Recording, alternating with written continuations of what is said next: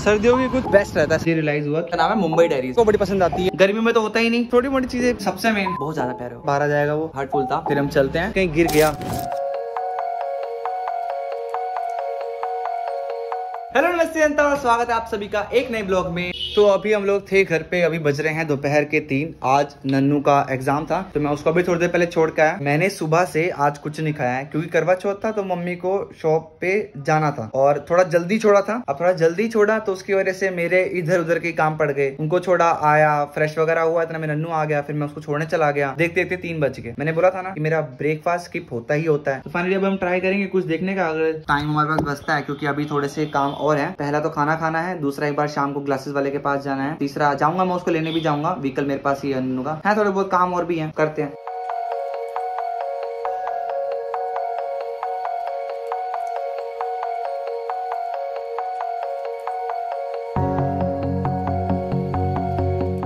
एक तो म्यूज़िक मेरा इन दिनों इतना अच्छा दोस्त बन गया ना कि मैं सुबह शाम सुबह शाम म्यूज़िक सुनता रहता हूँ। ये मतलब कान में रहते ही रहते हैं। मतलब अच्छा नहीं है। अगर ये कान में मेरे हंड्रेड परसेंट रहते हैं तो उसमें से मैं सेवेंटी परसेंट गाने ही सुनता रहता हूँ।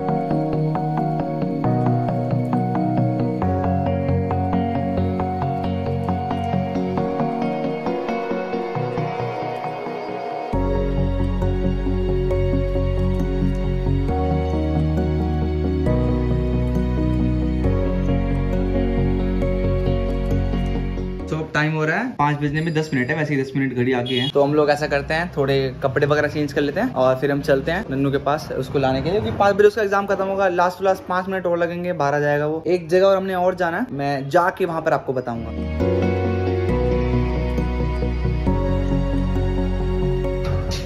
अभी मैं जस्ट नन्नू के साथ से घर आया, वहाँ से उसको एग्ज़ाम दे दिया और एग्ज़ाम देने के बाद अब वो निकल गया है अपने घर की तरफ़। मैं अपने घर पहुँच चुका हूँ। मेरे को छोटा सा काम था। एक छत पे जो गेहूँ है ना, वो गेहूँ पीसने के लिए देनी थी तो वो सूखने के लिए दी हुई है। तो वो लेनी है। अब क्योंकि सर्दियों में क्या रहता है, जल्दी ओस वगैरह पड़ने लगती है।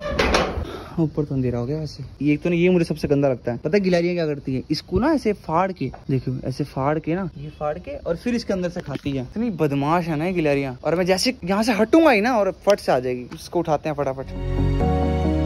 जो ये बरामदे की लाइट थी ना, यहाँ पर पहले लो डिम्बल लाइट थी। अभी जो लाइट चेंज करी है ना, वो लाइट थोड़ी ज़्यादा है। गेहूँ वगैरह हम नीचे ले आए, हमने नीचे रख दी है। दूसरा, हम अभी जा रहे हैं वॉक के लिए। और वॉक के साथ ही हम एक छोटा रन भी करने वाले हैं। और वॉक पे चलते हुए मैं कुछ चीज़ आपके साथ डिस्कस करूँगा।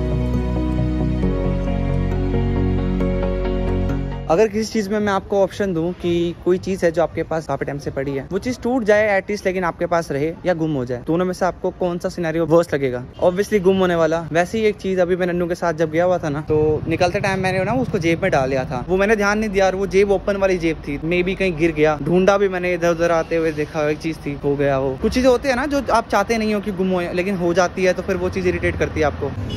हम लोग मंदिर भी जाएँगे, लेकिन अभी मैं एक, तेरह सारा तक पहले छोटी वॉक लगाएँगे, फिर एटलीस्ट डेढ़ किलोमीटर का रन लगाएँगे। तो मिलते हैं रन के बाद। लेट्स स्टार्ट द रन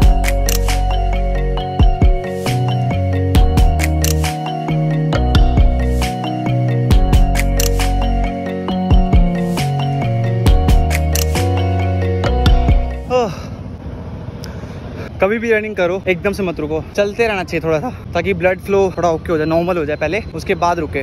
सर्दियों की कुछ चीज़ें हैं जो बहुत प्यारी होती है, बहुत ज़्यादा प्यारी। सबसे पहला कपड़े, दूसरी नींद, तीसरी, या मे भी किसी और के लिए कुछ और हो सकती है रनिंग रनिंग एक ऐसी चीज़ है जो मेरे को बड़ी पसंद आती है। मोस्टली मैं सर्दियों में मेरे लिए बेस्ट रहती है। गर्मियों में पहले बहुत गर्मी होती है, इससे बहुत ज़्यादा हीट प्रोड्यूस होती है तो कई बार काम खराब हो जाता है, तबियत खराब हो जाती है। सर्दियों में तो बेस्ट रहता है, सर्दियों का बेस्ट टाइमिंग होता है रनिंग करने का। मैं तो भाई जो करना चाहते हैं, मैं तो सबको रिकमेंड करता हूँ, एक बार रनिंग कर देखो सर्दियों में। अपने मन से करो, मत करो गोल के लिए किसी बस वैसे करो अपने हेल्थ के लिए। अब रन किया हमने कंप्लीट अब हम चलेंगे घर, थोड़ा फ्रेशन अप हो गए फिर उसके बाद हम लोग जाएँगे एक बार मंदिर और फिर उसके बाद हम जाएँगे वो ग्लासेस करवाने के लिए। हिमांशु वहीं से बनवाना जहाँ से मैंने बनवाए थे।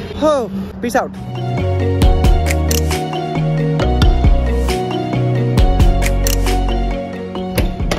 एक और चीज़ है जो मैं खुद के लिए मतलब सोचता हूँ ऐसा। अगर आप रनिंग करते हो ना तो आपको पसीना आता है और पसीने की वजह से आपके कई जो ब्लैक स्पॉट्स होते हैं ना, वो अपने आप चले जाते हैं। और वो किसके थ्रू? पसीने के थ्रू। अभी मैंने चढ़ाया पानी थोड़ा गर्म होने के लिए। मैं इसको हैबिट नहीं बना पाता लेकिन ये चीज़ ज़रूरी है और मैं खुद करना चाहता हूँ उसकी हैबिट बनाना चाहता हूँ। पैरों को रोज पानी में डाल के रखना एटलीस्ट रनिंग आने के बाद या सोने से पहले। और एक यार ये ना ये रिंग ना मेरे को अच्छी लगी देखने में तो मैंने ना इसको डाली। डालने के बाद मुझे रियलाइज़ हुआ कि ये रिंग ना साइज़ छोटा है मेरा। मतलब ये रिंग का साइज़ छोटा है मेरी उंगली से। अब ये दूर से देखने में तो ठीक लगती है लेकिन ना मेरे को बड़ा तंग कर रही है। सबसे मेन बात की निकल नहीं रही है।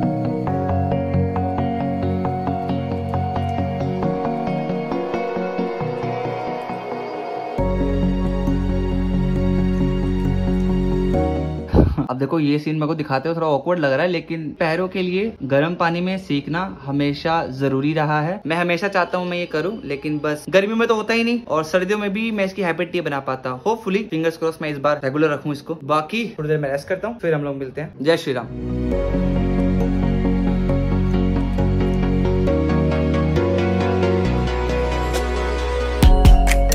सक्सेसफुली हम लोग मंदिर चले गए। अभी हम लोग दुकान पे आए हुए मम्मी को लेने के लिए साथ ही हमने दूध भी ले लिया। और ग्लासेस का आज नहीं होगा। ग्लासेस का कल या परसों में हम लोग जाएँगे। अंकल ब्रेड देना माते का भी जस्ट फ़ोन आया, माते बोलते हैं, बाहर रहो। खोलो।